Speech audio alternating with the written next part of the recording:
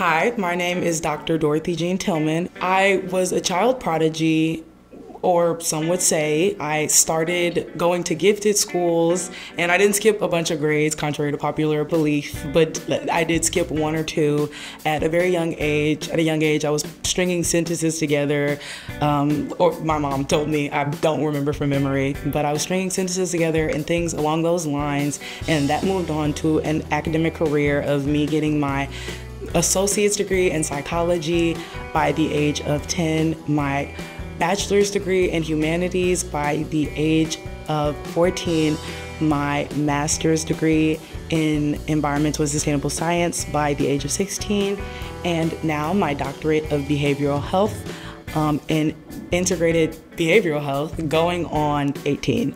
And with that, alongside that, working on stigma and mental health and health in general through my degree, I've also simultaneously been the CEO of my own STEAM camp, which is a science, technology, engineering, arts, and math leadership camp. And so it builds leaders in multiple different ways, providing them resources that they need to move on to whatever places they would like in life.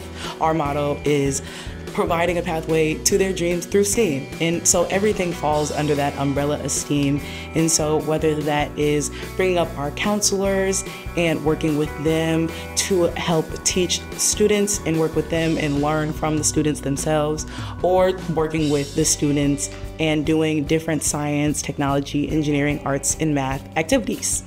I've also worked with students in South Africa and in Ghana. I have a STEAM school in Cape Town that we wanted to make a brick and mortar, like official STEAM school, and COVID happening and kind of stalling that for us was what encouraged me to create the camp in 2020, fully COVID free, we had our first uh, full summer camp for the Dorothy Jean STEAM Leadership Institute, and we went on to do it every year since then, alongside our winter sessions with our stimulators, which are winter and spring, where we do team building and bonding activities and world travel just to build the teams that we work with. I am definitely interested in the arts. That's definitely something that drives me more than anything else I've ever done in one way or another. I've practiced a lot of different forms of art, and so I'm on a dance team, and my family owns a theater, and so of course I've acted all my life.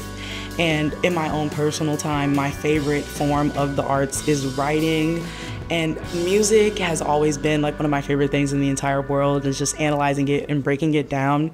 I think the arts creativity just brings out something in people and it also is important in every aspect of life. Like in steam everything goes into the technologies or the math there's an art to it. And so the fact that it goes hand in hand with all of the like smart or logical things that people like kind of focus on more so I think kind of makes me love it even more because they really do just work together, no matter how much people kind of try and make them seem like they're separate things, like logical things and creative things. I think that artificial intelligence is a very powerful tool, like something that we're very lucky to have, just like the internet itself.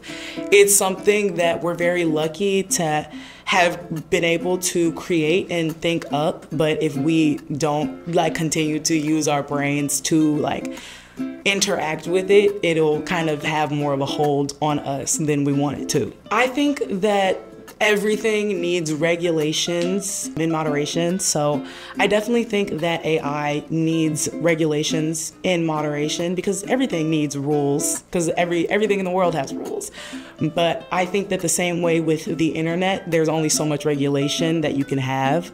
I feel like it goes like for the same. I think any challenges that I may have had being like a younger person in a lot of the classes that I was in for a, a lot of my academic career, it wasn't honestly the biggest challenge in actual class because a lot of them were on Zooms or if I was getting a test proctor, it was just me and the proctor that were involved in that. And so it wasn't like a bunch of people that I really had to interact with.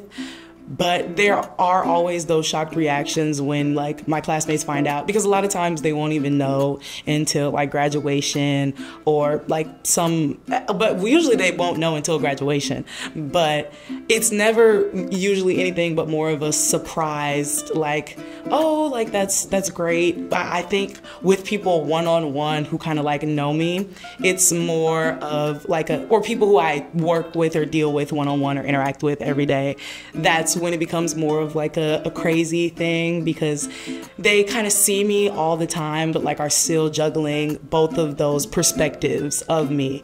And so I think the the the biggest challenge like quote unquote would be dealing with the people in my real lives like juggling those perceptions of me and which i'm really which one i'm leaning more to in the moment and how i would prefer to be perceived. But people who kind of don't know me like classmates who haven't really got a chance to interact with me it's never really been a crazy thing. My favorite artist i'm gonna say top five is Lucky, Taylor Swift, Jessie Reyez, J. Cole, and Hozier. I'm not sure if that was five. Oh, and Billie Eilish. That's what makes it not five.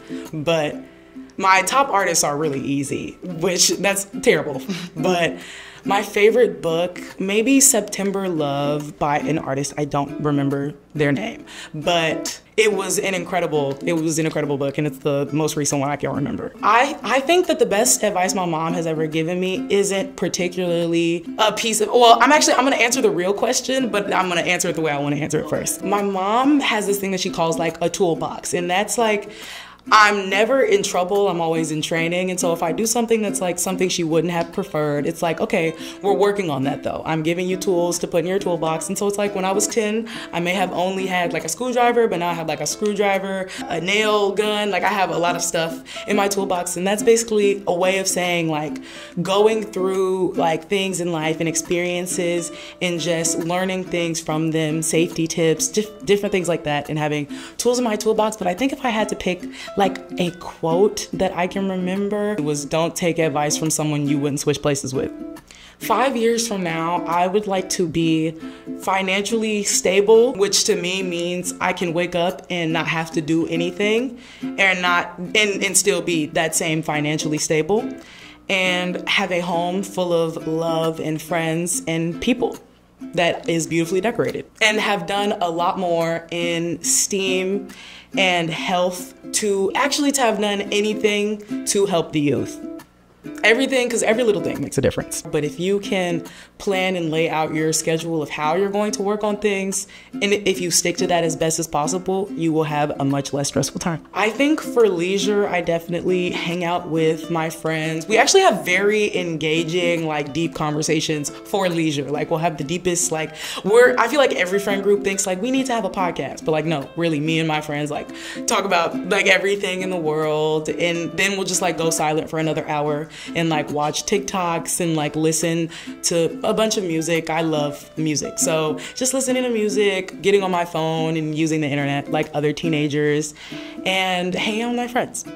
I think that my top three leadership skills, I would say, are definitely understanding, communication, and accountability. I think to tell you about my grandmother, the Honorable former Alderman of the Third Ward, Dorothy Tillman, growing up with her was I mean, not very different than what a lot of people would expect from seeing her, you know, be so passionate for the things that she fought for in the news. I mean, she is passionate at home with the lessons that she teaches, you know, in any little thing. She's not gonna let that slide. She's gonna let you know because everything really is a lesson for later. I think in every interview now, I try and say for any parent who sees the interview, not to ever take the interview and show it to their kid, like, look at what you should be doing, but to take it to their kid and to say, what could I do to better support you, to better build you up, and to make sure that your dreams come true.